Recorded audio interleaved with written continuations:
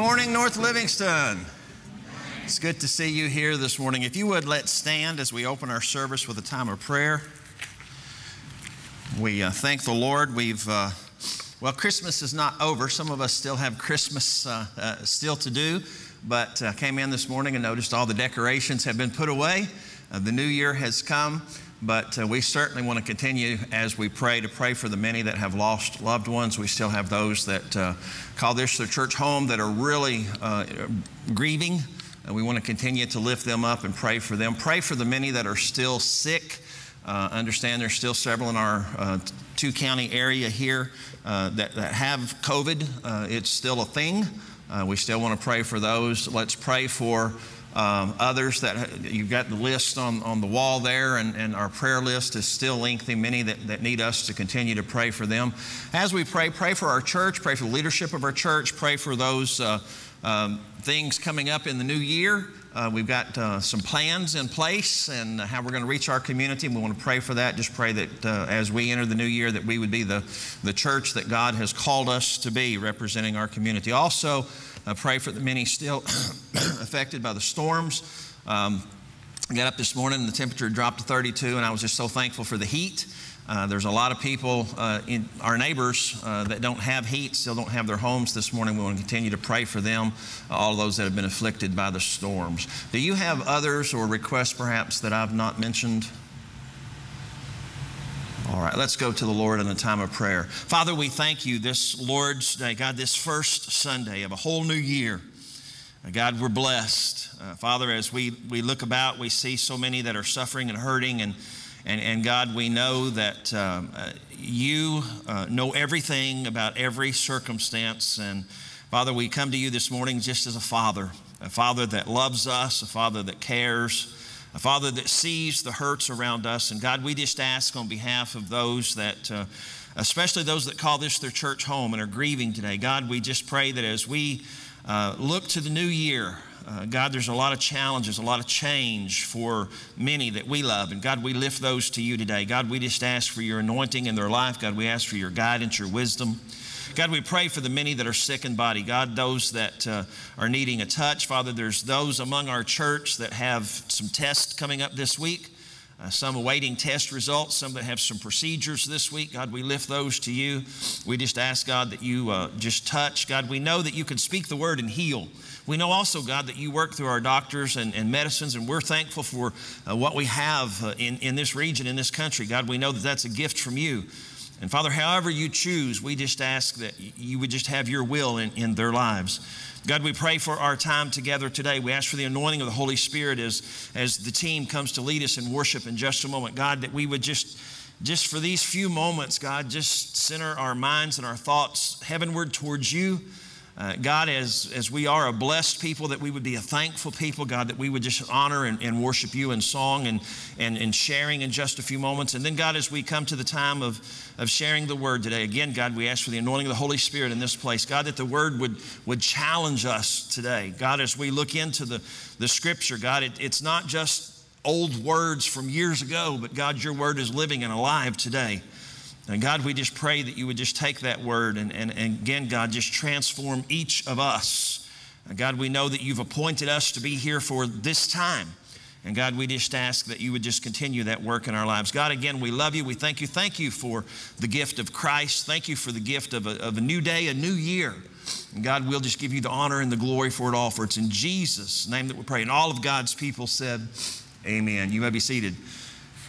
Before we get into our. Um, uh, song service, uh, we've finished up the month of emphasis for our international missions. Uh, we got off to a rocky start because of some technology stuff here, but we have one more video uh, that Joan wants to share with you, and then she'll bring you the update on where we are. And if you weren't able to give uh, for our emphasis, we'll, we'll ask that you would be praying for that today. So, Joan, you come on up and share what God's put on your heart and share our update, and then share the video with the sister. And then, Joe, you come right on. Okay, our goal we set $1,600. So far, we have reached $995. I want you to pray if God, if your ship hadn't come in yet and it came in today, just ask the Lord to tell you what He wants you to give. But we are in Africa, and I want you to watch this video. And no, it's Asia, isn't it? It's Asia.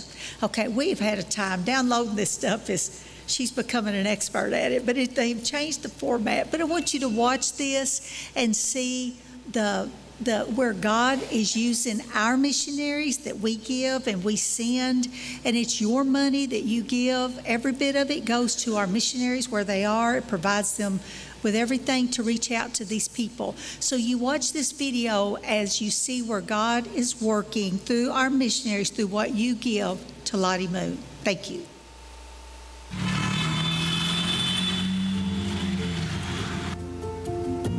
God is using IMB missionaries' previous experience in South America to now share the gospel in South Asia. They are using their knowledge of the Spanish language to help mobilize Hispanics and Latinos to serve in South Asia. The Myers are strong advocates of the mobilization of churches from Spanish speaking cultures. God is using short term trips to make lasting impacts in South Asia. Pray for IMB missionaries as they serve all across South Asia.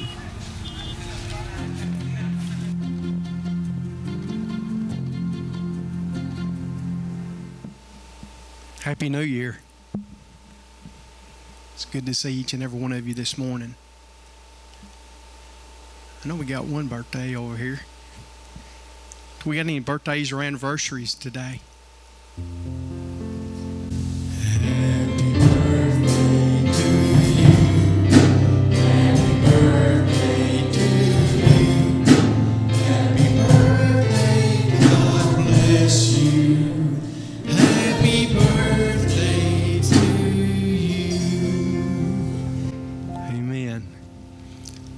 Start the new year out this morning by blessing that wonderful name.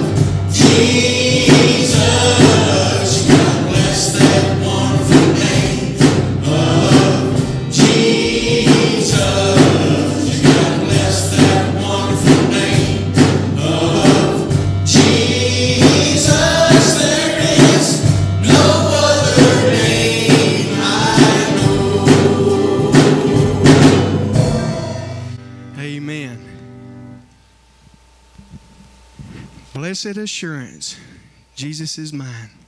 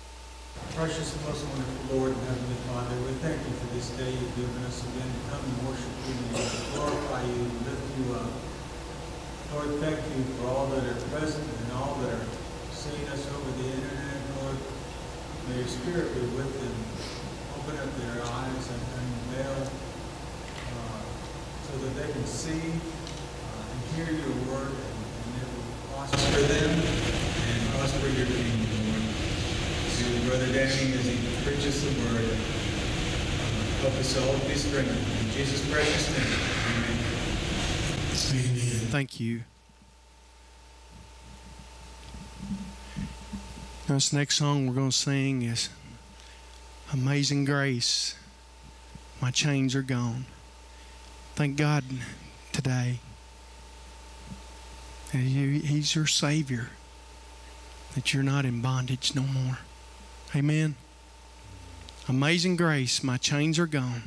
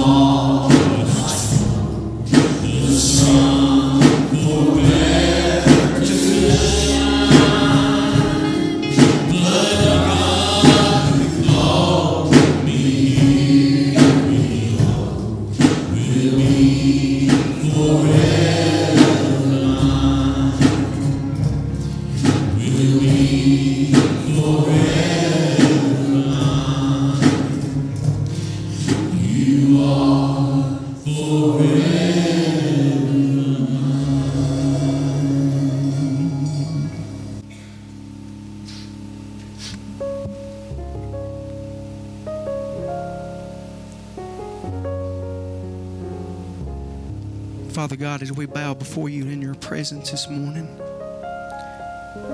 God, we humble ourselves before you, acknowledging that you are God Jehovah.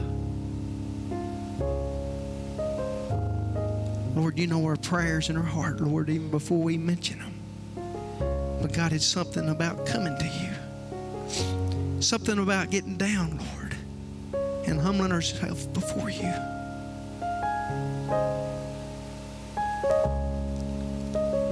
I thank you for each and every one, Lord, that's here this morning that makes up this service by internet or even in their presence of being here.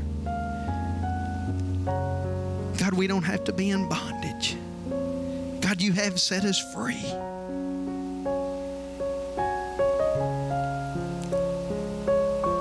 God, those chains that so entangle us, that wants to hold us down. God, may we just break free of them. In Jesus' name. Lord, we pray for those afflicted, Lord, from the storms. God, thank you for each and every one, Lord. It's, it's helping them, Lord. God, it's something to see your people come together. Lord, help this nation, this world come together. And be the people, Lord God, that you've called us to be. God, I pray for Brother Danny, Lord, as he comes and brings the word to us, God. Lord, may it not fall on deaf ears today, Lord, but ears that are attentive, will put it into action. Lord, we thank you for all that you do for us. We bless your holy name. In Jesus' name we pray. Amen. I'm going to ask you to open your Bibles, book of Galatians, chapter number four. Galatians, chapter number four. Paul writing to the church in Galatia. We looked at Galatians 4 and 4 last week. I want to build a little bit around that today. Galatians 4. Galatians 4 and 4 talks about when the fullness of time had come.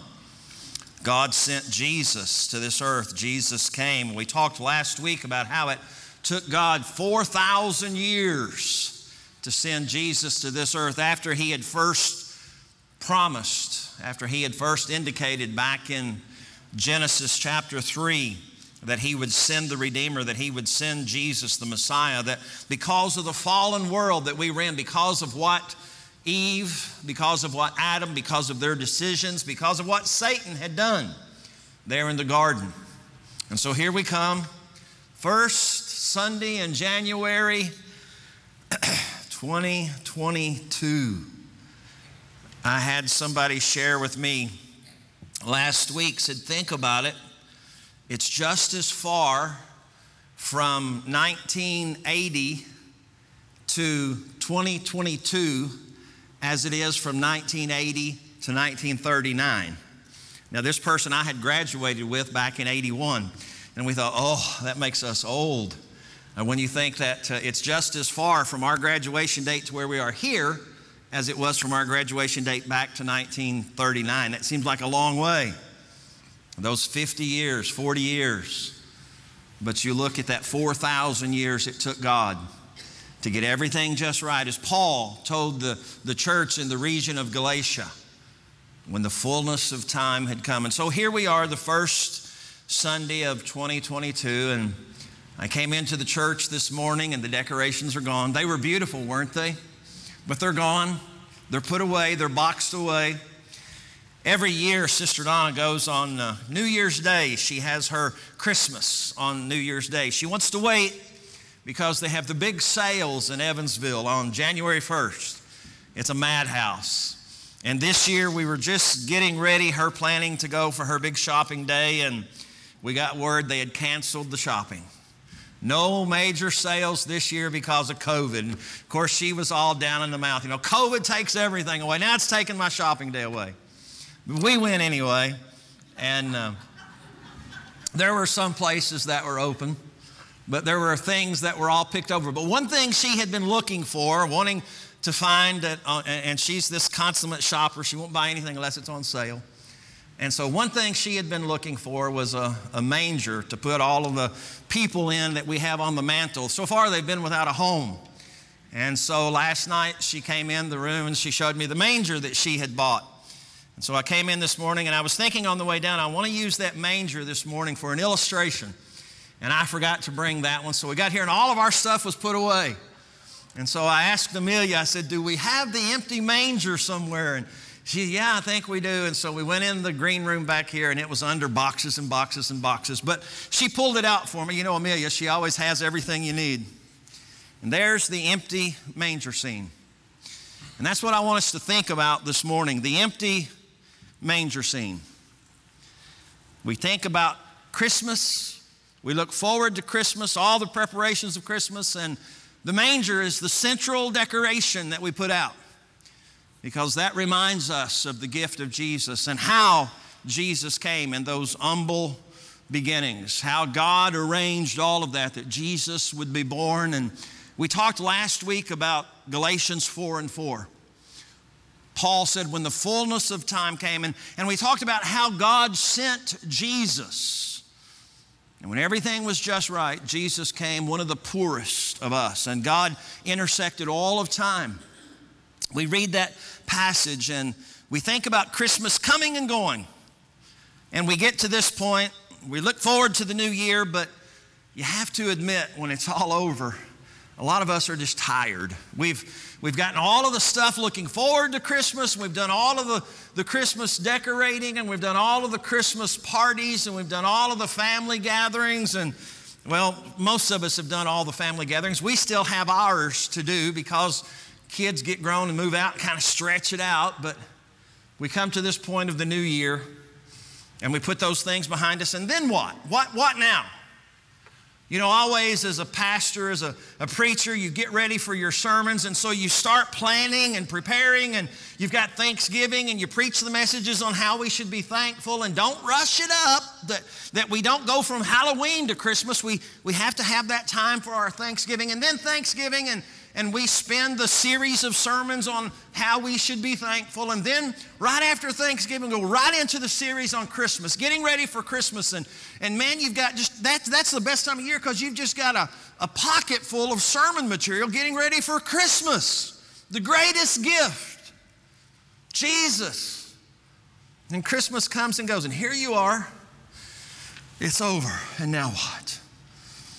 And we're kind of tired. We're tired because, yeah, all of the hullabaloo of Christmas has come and gone, but just face it, we're, we're kind of tired because we're tired of, of two years of COVID. We're tired of every time we turn on the news or every time we hear from a friend or somebody, it's more sickness. And a lot of people are just tired because there's been a lot of death and loss. A lot of people are just grieving and hurting. And so the new year is here with all the excitement of a new beginning, and yet for many people, it's like, it's a new beginning, but it's going to be a different beginning. It's going to be a tough beginning. It's going to be a challenge.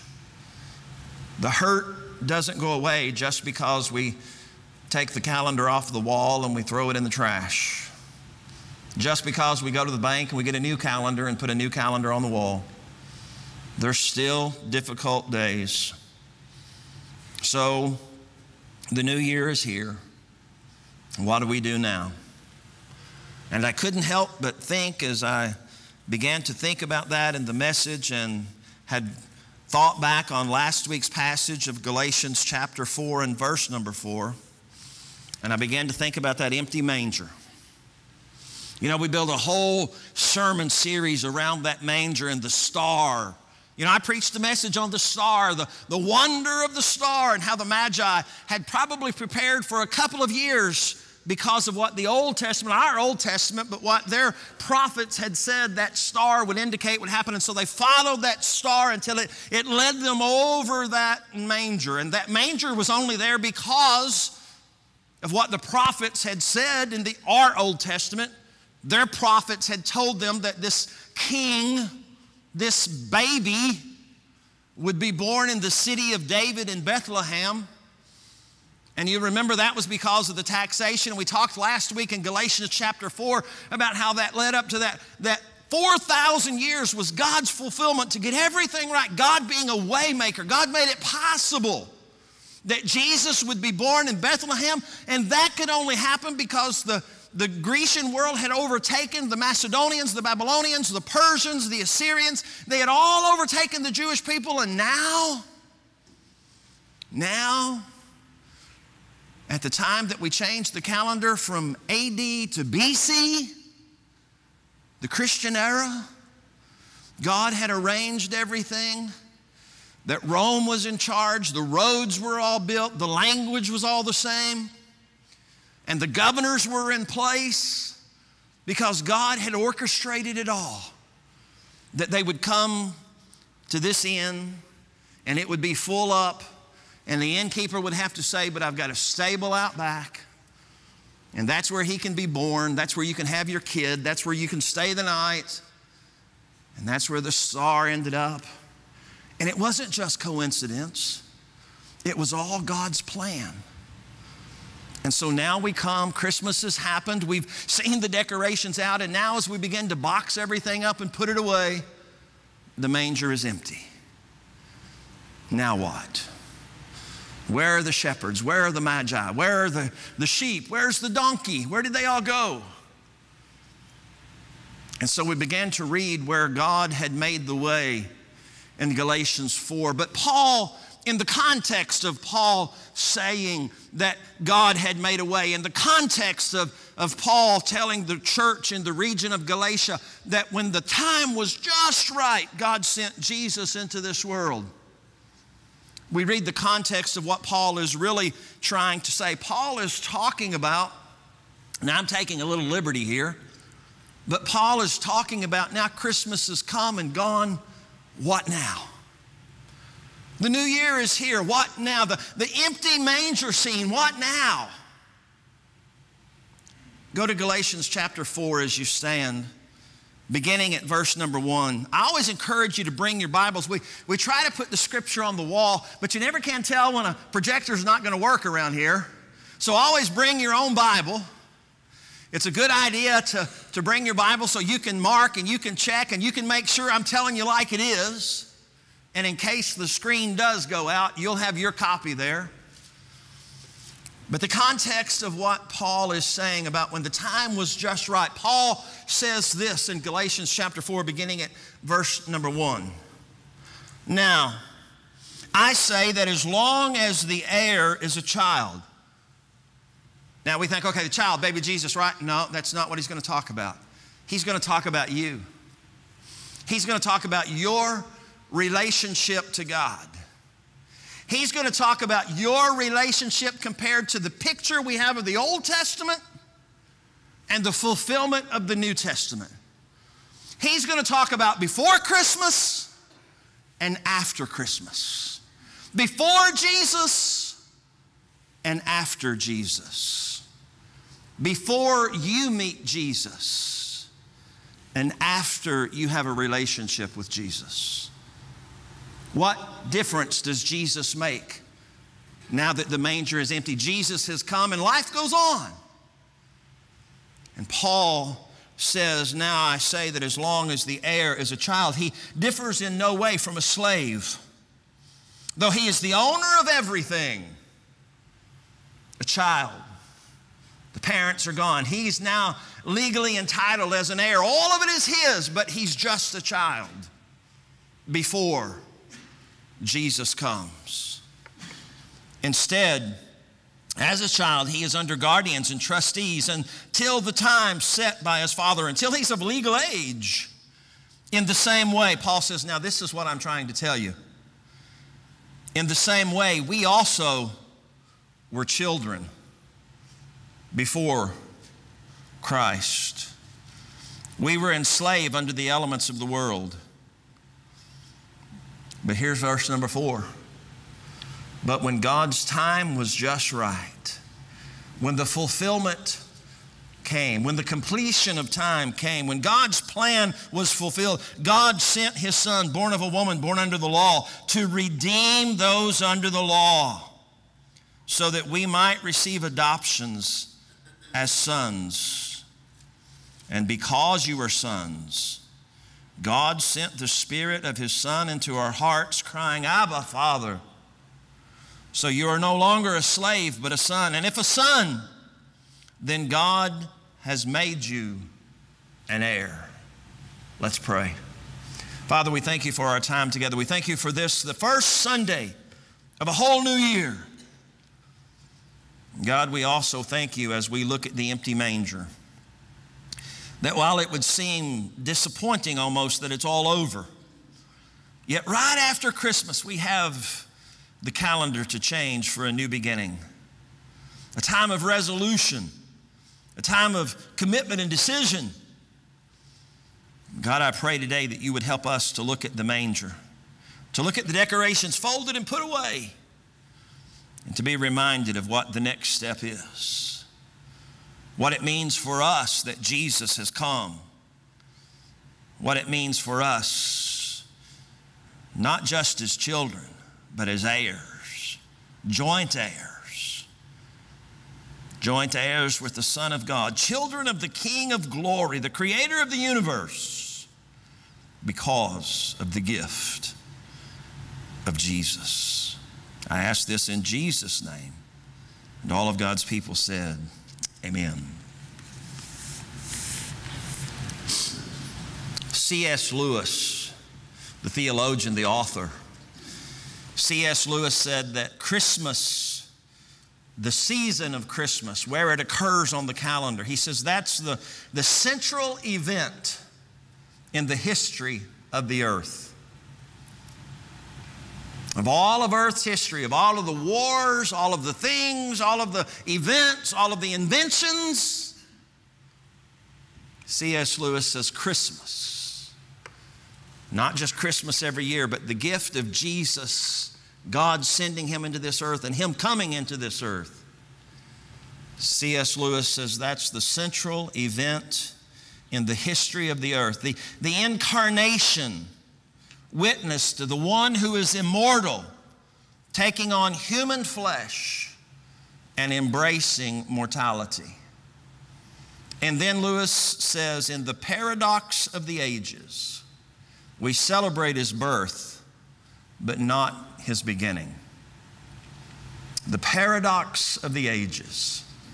We celebrate the birth at Christmas. And many times, because of that, because of the busyness, we overlook who he really was.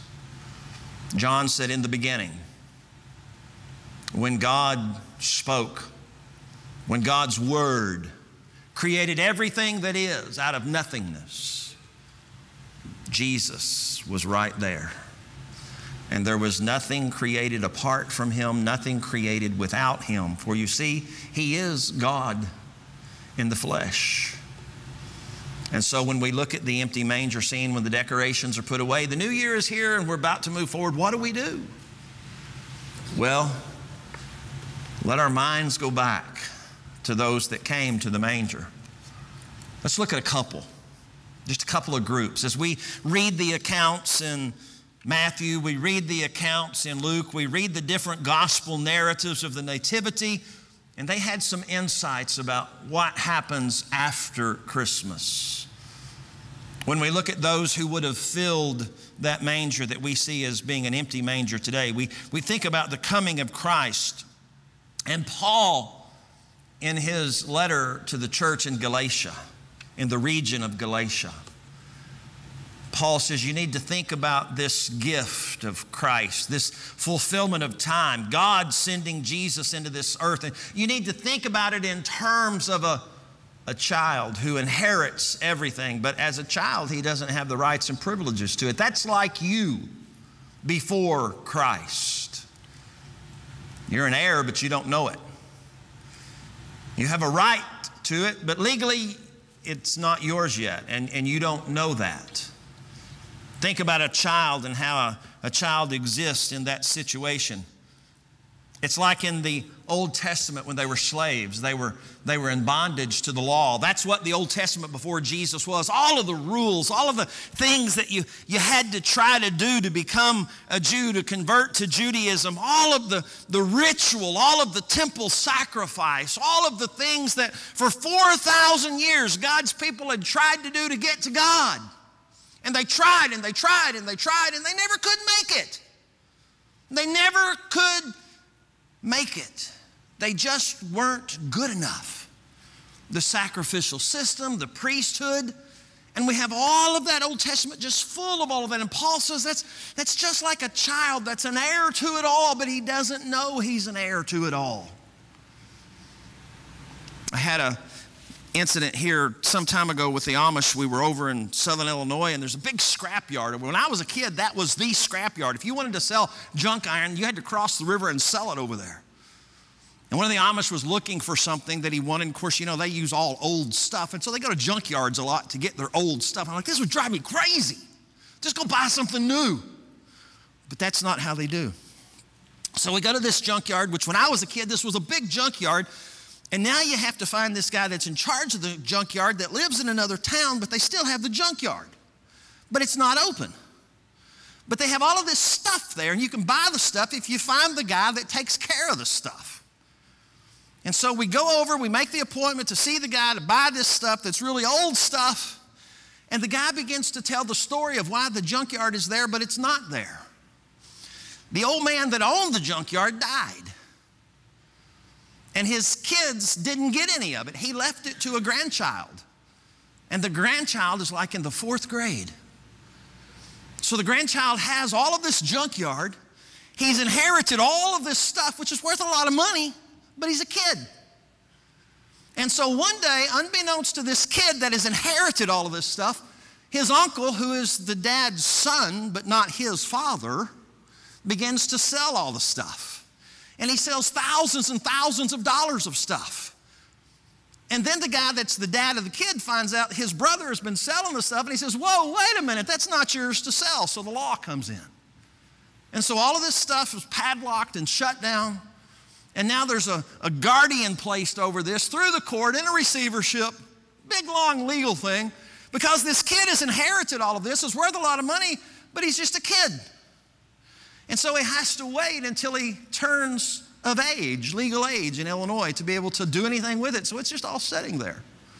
But this guardian that the courts have placed over this can sell some of it, but it all has to be documented and all this stuff and run through the courts in order to do it because this kid is not an adult yet to legally inherit all of this stuff. Well, Paul's talking about that situation, a similar situation. And he says, You're just like that. You're the kid. And you've inherited all of this stuff, but you're a kid and you can't do anything with it. And so it's all like the Old Testament, all the laws and the rituals, and it's all locked up. You got it, but you're a kid. You can't inherit it yet until you turn of age or until, Paul says in verse 4 of Galatians 4, until the time is right. And the time is right when Jesus comes. And when Jesus came, all of the stuff that you had, as the Old Testament depicts, under the law, it was yours, but you couldn't do nothing with it until Jesus came and fulfills the inheritance.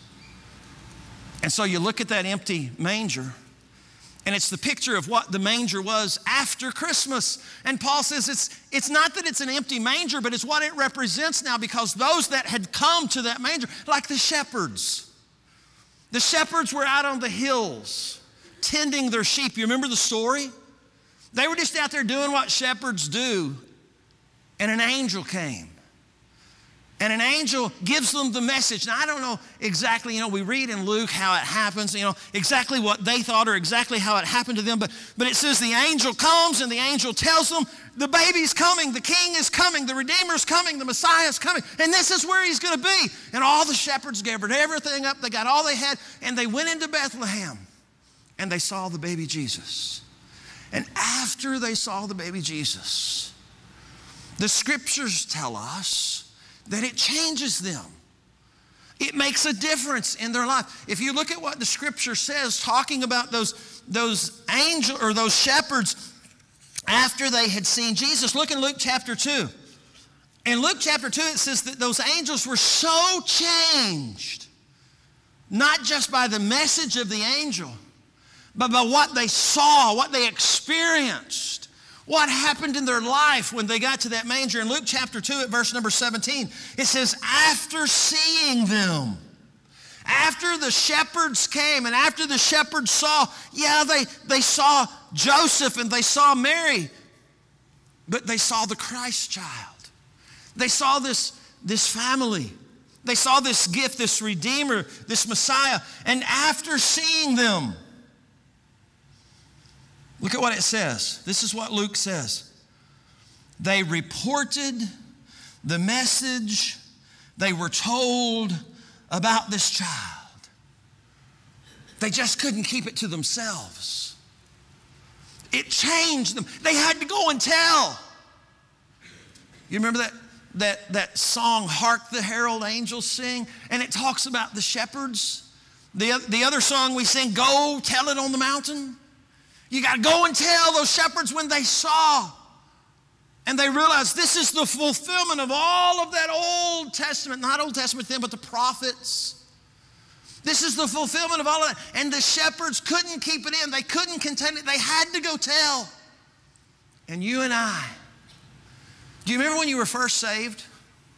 I don't know how many people give me this testimony. Man, as soon as I got saved, I wanted to tell somebody.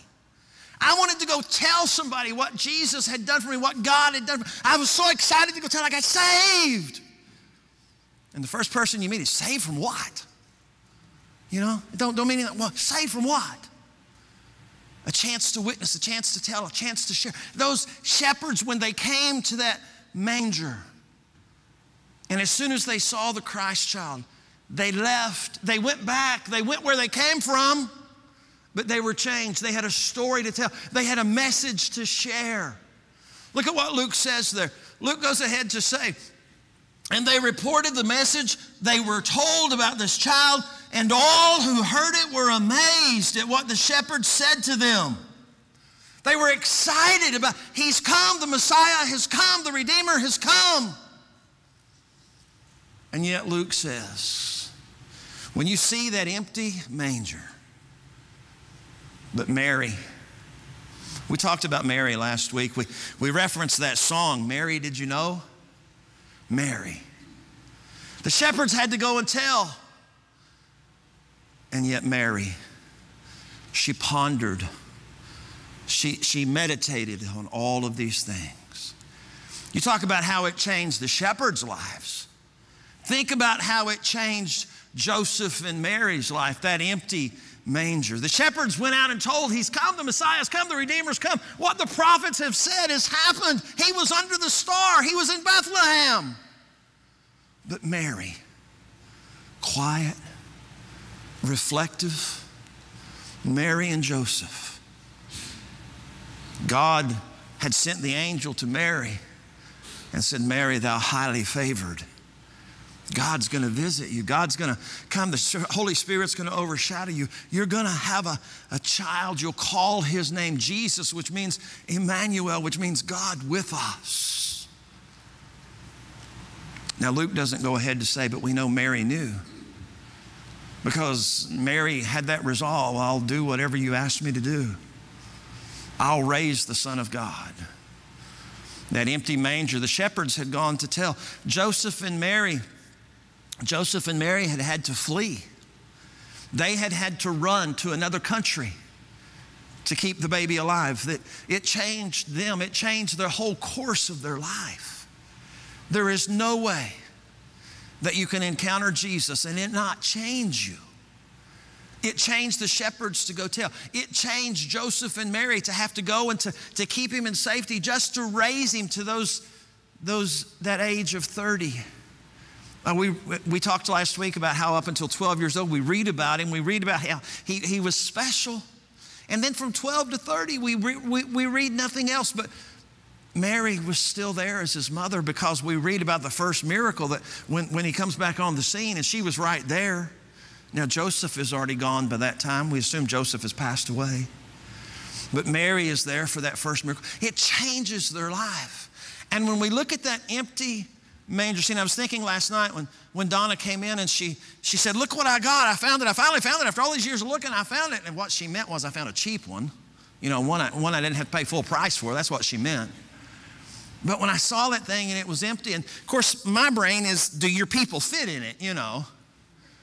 And so a little bit later, I went in the living room. Of course, we're having our Christmas today, so the decorations are all still out. Amelia hasn't visited our house to put everything away and clean it all up, you know. And, and so I look at the manger scene and I said, Where's Joseph? And she said, well, He's too tall to fit in there. So he's kind of outside. But when I looked at that thing and it was empty, and I thought, you know, that's kind of like what Paul is telling us before Jesus and after Jesus.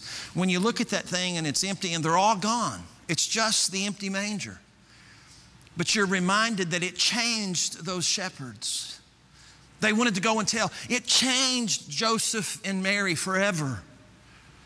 They had to flee to keep him alive. Joseph had to, to every day work to, to feed the Son of God, to clothe the God of the universe.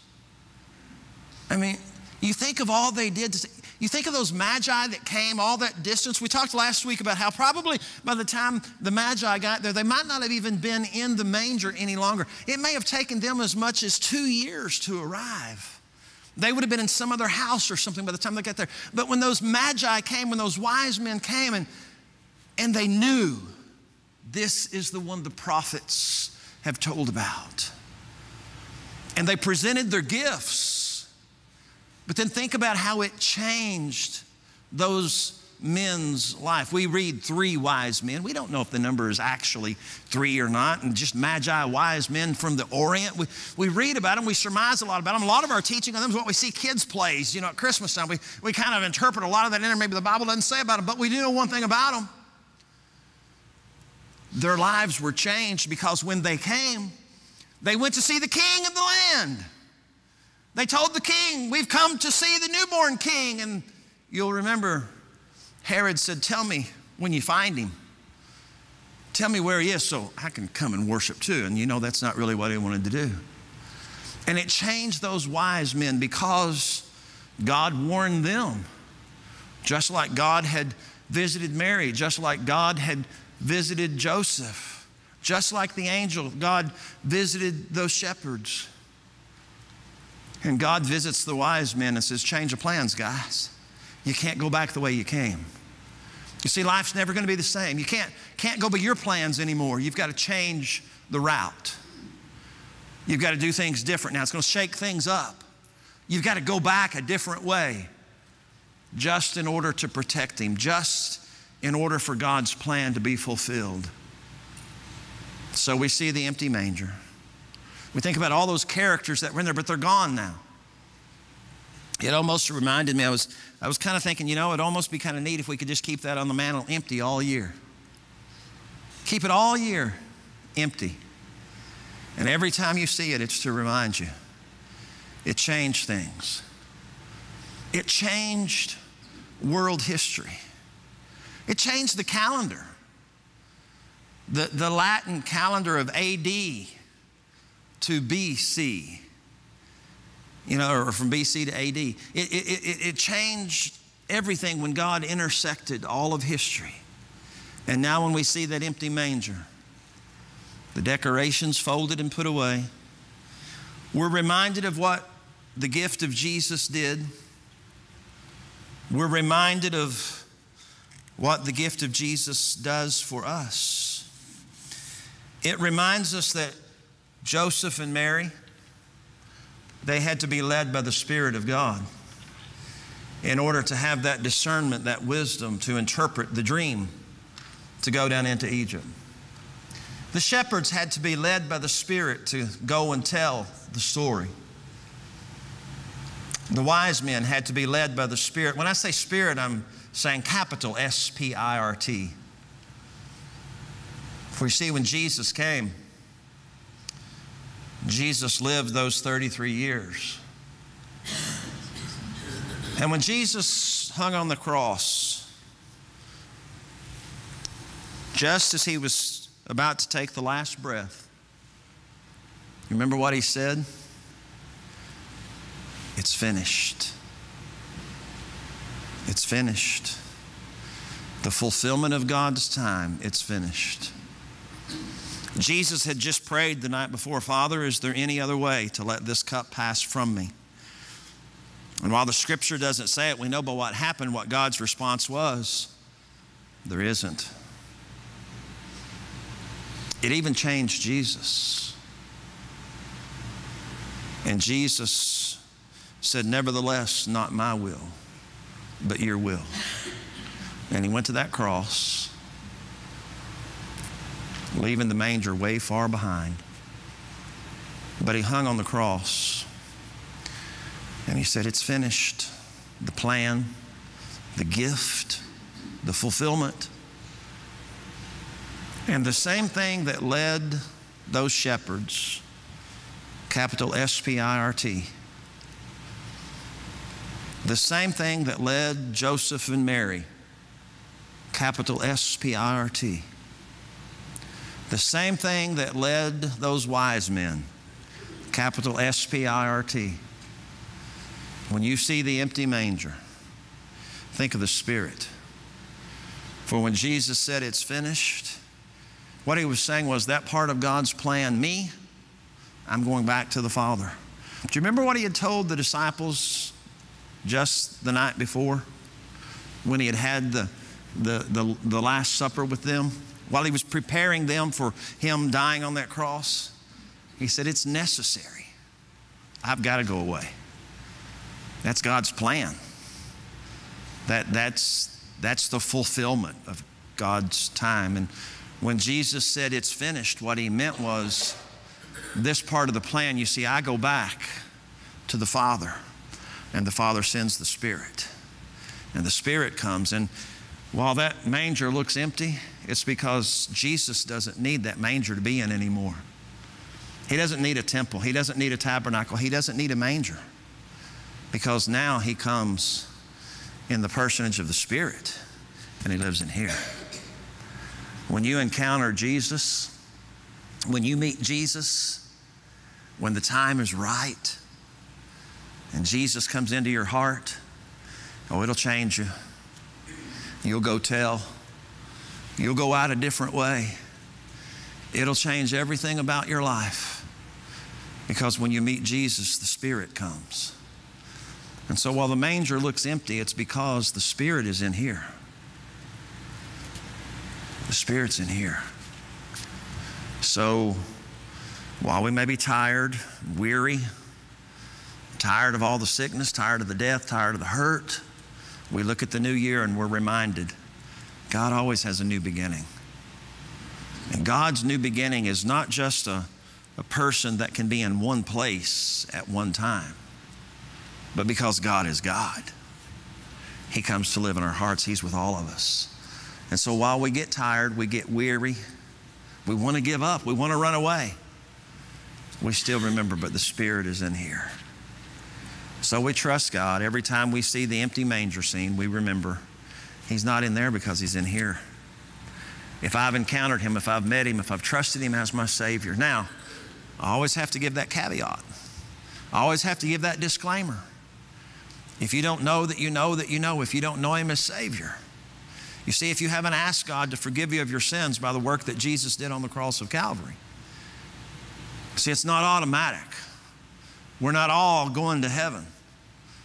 I mean, I've talked about this before. Every time we go, uh, go to a funeral, I mean, the, you never hear anything bad about the decedent, but I, I, I heard this week about a famous person that passed away, and my first thought is did they know Jesus as Savior?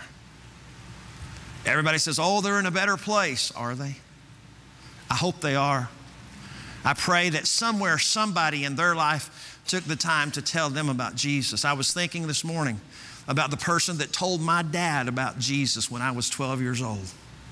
If that person hadn't told my dad about Jesus, and my dad took us to church when I was 12 years old, and 12 years old, Mother's Day in 1976, when I heard the message that I needed to be saved, I went forward and I asked Jesus into my heart. You see, I still thank God for that person that told my dad I'll never forget the conversation. I was sitting there in the living room. My dad couldn't read. And yet the preacher told my dad, Carl, I'm just going to ask you to do this. Just read the book of John. Dad didn't know if there was a God or not. He's what you call an agnostic. Didn't know if there was a God or not. And the preacher just said, Carl, I'm just going to tell you this. Just, just ask you this. Just, just for me, just read the book of John. Dad was a very proud man. He didn't say, I can't read fourth grade education, and I watched my dad over the next month. Dad didn't teach himself to read, the Holy Spirit helped him to read. And he read the book of John.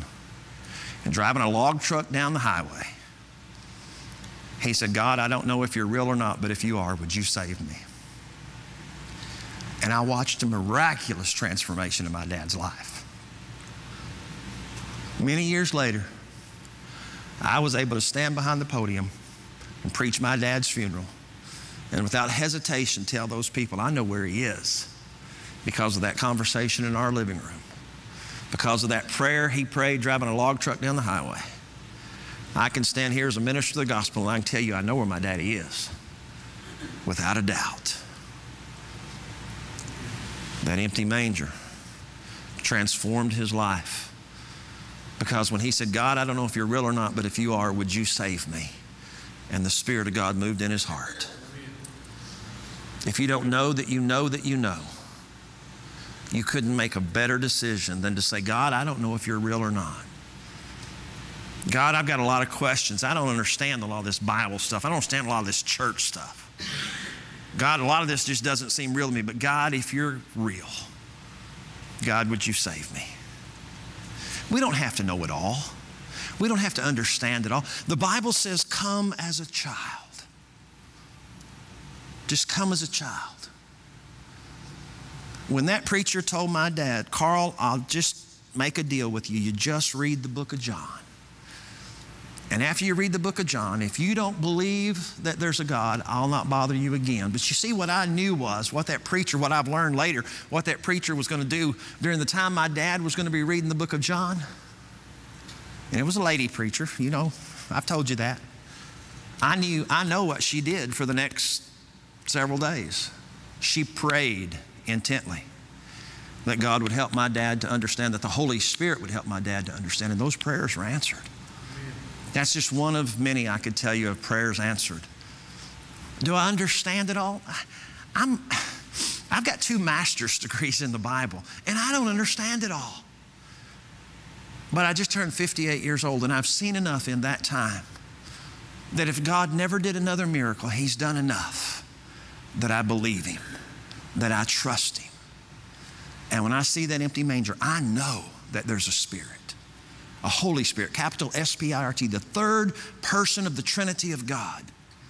And just like the God that created the universe and the God that came as a baby in that manger and died on a cross and said, It's finished, that third part, that third person of the Trinity of God, the Holy Spirit, when I say, God, will you save me? God, forgive me, that Spirit takes up residence in my heart. Am I perfect every day after that? No, I'm human.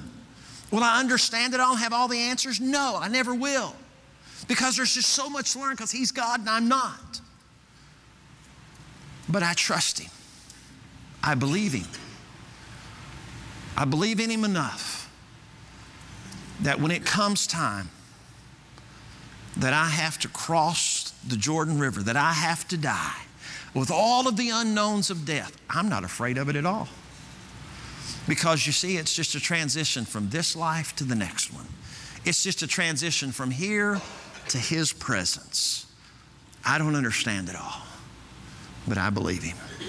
And if you're watching by way of internet today, if you're in the room today and you don't know that you know that you know, you can't make a better decision than to say, God, I may not understand it all, but I'm going to ask you to save me.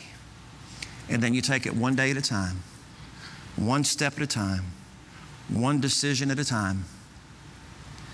And I've said this so many times, you probably get tired of me saying it, but it's just as simple as ABC. I admit I'm a sinner. I need to be saved. I may not understand it all, but the B is I believe, God, you're who you said you were. I believe Jesus came and lived and died, didn't stay dead, but rose again. And the C is I confess. I confess my need of a Savior. I confess my sins and ask God to forgive me. And I don't do that through a man, I just do that in prayer between me and God. Do it right here. Do it where you are, watching by way of internet. Do it driving a log truck down the road. I've seen it happen wherever you are. Just God, save me. And He will. Joe, you come and lead us in a hymn of invitation. You stand, some singing, some praying. but all obeying that quiet voice of the Holy Spirit that's urging you, whatever He's asking you to do right now. If it's to come forward, if it's to take somebody by the hand, if it's to, to ask somebody sitting there on the couch beside you, would you pray with me? Obey what the Holy Spirit asks you to do right now. As we sing, only trust Him.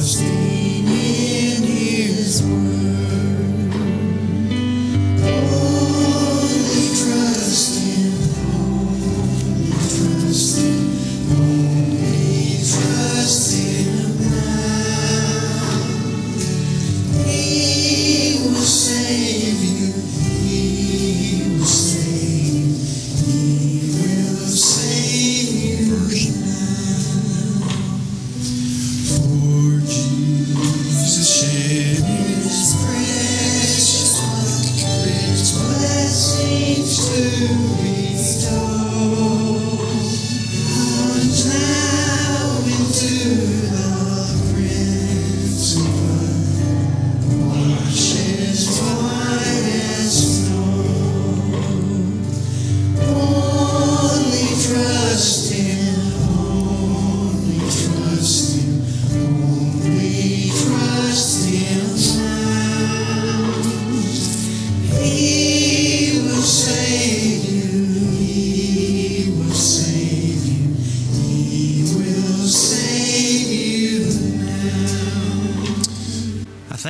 your attendance.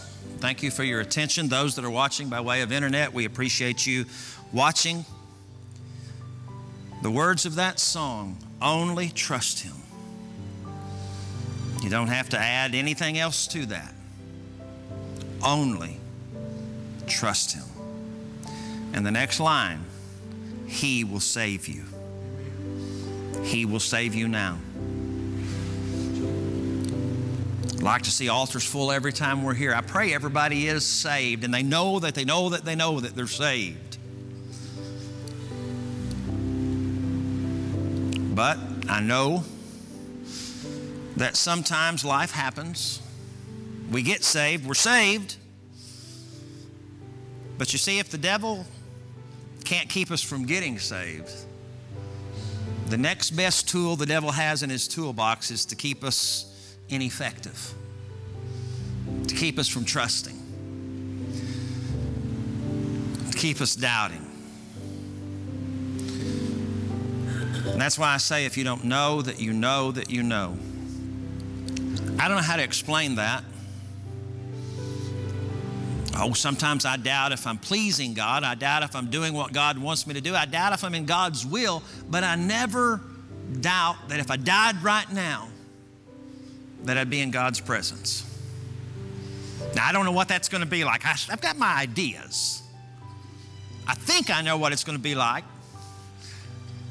I think I know what heaven's going to be like, but then Paul, you know, tells us that, you know, eye hasn't seen, ear hasn't heard. We can't, it hadn't entered into our imagination what it's going to be like. I mean, I understand that. But I have no doubt, while I may be displeasing to him sometimes, I have no doubt that he saved me. And that's why I say, know that you know that you know. And so if you don't, I encourage you just to keep praying that through. Only trust Him. God, I don't know. So, God, save me. God, resave me. I want to rededicate. Uh, whatever term you want to use. You don't have to get saved and lost and saved and lost. That's not what I'm saying. But just pray for that, that blessed assurance that you know, that you know, that you know that you'll spend eternity in heaven with God. Time is short, eternity is real, hell is hot. I mean, I know some, you know, there's no hell, there's no hell. The Bible says there is. Jesus said there was. Heaven is forever. The Bible says it is. Make sure you know. If you ever need to call me, reach out. I'll do whatever to try to sit and talk and help, pray. I know anybody in this building would. Pray for one another. Paul tells us that we're to pray for the household of faith. When you come into church, you see smiling faces, you see people with their Sunday best on, you don't know what they're going through. I can tell you of a surety there are people in this building that look like they've got it all together, but they're hurting. They're burdened. They've got cares. They've got concerns. And they need all of you to be praying for them. But then I don't know who that is. Pray for one another. You just pray for the church. See, that's why I don't like it when you guys don't sit in the same place because when I pray, I usually pray for where you're sitting. And if you move around, you may get missed. But you just pray for the household of faith. Pray for those in the church. And when you do that, remember there are some that may be carrying a burden that you don't know. But it may be your prayer that gets them through that week. So you be faithful to pray for one another. That's what Paul tells us to do. That's part of what church is. Every time I hear somebody say they, they don't like the church, they don't need the church, that just, and not because I'm a preacher, I'm just like, well, if you've ever been a part of a good praying church, you'd want to be a part of a church. I mean, if you've ever been a part of a good praying church, something goes wrong in your life, first thing you do is you say, get the church to pray. Get the church to pray. I don't have time to tell you, just call the church. I don't know how many times I get calls like that. I can't go into it. Tell the church to pray. And I know when I send those texts out, You guys may not stop what you're doing, pull over to the side of the road. You, you may not do that, but I know whatever you're doing, in the middle of doing that, you're praying. God help. That's why we need the church. That's why the Bible tells us don't forsake the assembling of yourselves together. And then it goes ahead to say, even more so as you see the day approaching, as time gets to a close, as we're about to wrap this thing up called earth, even the more so, you're going to need the church. I praise God for this church. I praise God for a praying church, a loving church. Praise God for you. And that's the pep talk. David, would you dismiss us in a word of prayer? Heavenly Father, I want to thank you for the many blessings that you give us. Lord, just help us to witness to people as we Lord, thank you for the many blessings that you give us, Lord, your Spirit, your Son, Lord, that He gave His life for us on the cross to redeem us to you. Lord, that we can have eternal life with you. Lord, just continue to be with us, be with the ones that are affected with this tornado, that lost loved ones and lost their homes. Lord, just help us to minister to them, and Lord, just help them to get help that they need. Lord, I want to thank you, and I love you, and just continue to be with your church.